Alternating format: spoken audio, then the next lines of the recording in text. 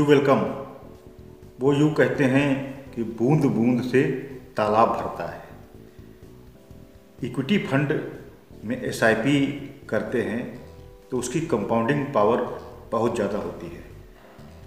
यदि आप long term के लिए मात्र एक हज़ार ही इन्वेस्टमेंट करते हैं एसआईपी के माध्यम से प्रति माह तो लॉन्ग टर्म के लिए लॉन्ग टर्म में उसका बेनिफिट बहुत ही अधिक होता है। वो किस तरह से होता है, आइए हम एक उदाहरण के तौर पर समझते हैं और अपनी स्क्रीन पर, मोबाइल की स्क्रीन पर ही चलते हैं और रिकॉर्डिंग ऑन करके आपको हम बताते हैं कि उसका जो बेनिफिट है लॉन्ग टर्म में, वो किस तरह से बहुत ही ज़्यादा होता है। तो आइए चलते हैं अपने मोबाइल की स्क्रीन का। तो हम अपनी मोबाइल की स्क्रीन पर आ गए हैं। वो कहते हैं, बूंद बूंद से तालाब भरता है। इसका सबसे अच्छा उदाहरण है इक्विटी फंड में एसआईपी के माध्यम से निवेश करना।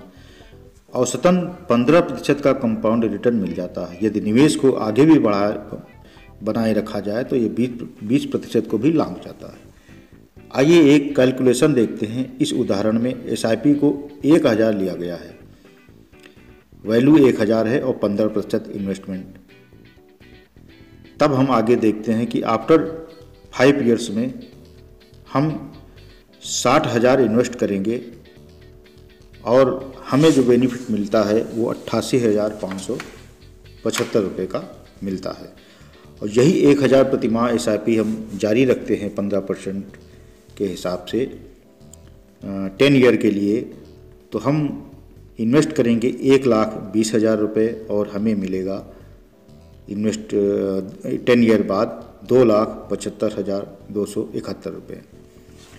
यही एस आई पी एक हज़ार पंद्रह परसेंट रिटर्न हम पंद्रह साल के लिए इन्वेस्ट करते हैं। तो इन्वेस्ट अमाउंट होगा एक लाख अस्सी हज़ार और इसका जो पूरा अमाउंट मिलेगा हमें पंद्रह साल बाद वो छः हज़ार अड़सठ छः लाख अड़सठ हज़ार पाँच सौ सात रुपये। यही एस आई पी एक हज़ार हम बीस साल के लिए इन्वेस्ट करते हैं।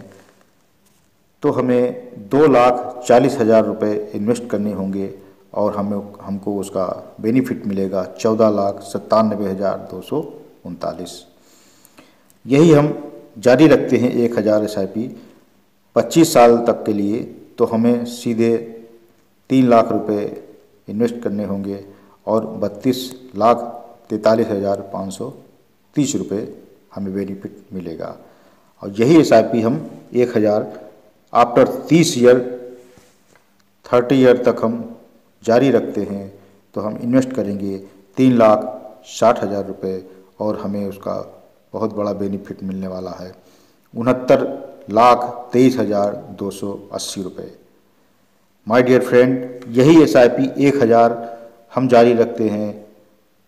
आफ्टर थर्टी फाइव ईयर्स पंद्रह परसेंट रिटर्न तो हम थर्टी फाइव ईयर में कितना जमा इन्वेस्ट करेंगे? चार लाख बीस हज़ार रुपये इन्वेस्ट करते हैं और हमें कितना मिलता है? बहुत बड़ा कंपाउंडिंग का जो लॉन्ग टर्म का है, ये एक करोड़ छियालीस लाख सतहत्तर हज़ार एक सौ अस्सी रुपये। My dear friend S I P की जो कंपाउंडिंग पावर है, वो बहुत ही ज़्यादा है। ये मात्र एक हज़ार रुपये की कंपाउंडिंग पावर है।